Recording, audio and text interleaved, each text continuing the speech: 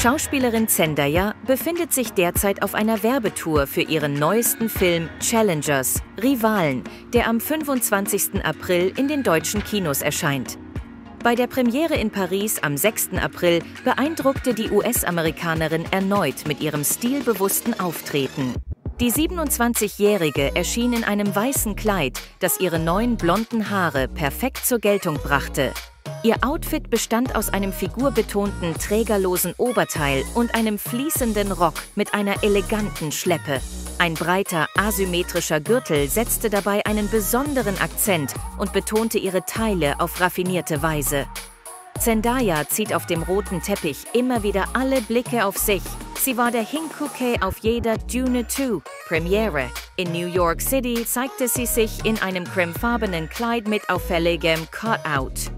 Ihr silberner Roboter-Look in London war aber zweifelsohne einer ihrer extravagantesten Styles. In Mexiko-Stadt setzte die Schauspielerin auf einen futuristischen Zweiteiler, der den Blick auf ihren Bauch und ihre untere Brustpartie freigab. Bei einer weiteren Dune 2 Premiere kam zudem ein goldener Zweiteiler aus Crop Top mit Schulterpolstern und Kragen sowie ausladendem Rock zum Einsatz. Wer ein derart gekonntes Händchen für Mode hat, darf natürlich auch auf der Fashion Week nicht fehlen. In Paris ließ sich Zendaya dieses Jahr gleich zweimal blicken. Einmal in diesem weinroten Off-Shoulder-Kleid und einmal in einem schwarzen Ensemble aus Rock, Rollkragenshirt mit Bommeln an den Ärmeln und abstehender XXL-Schleppe.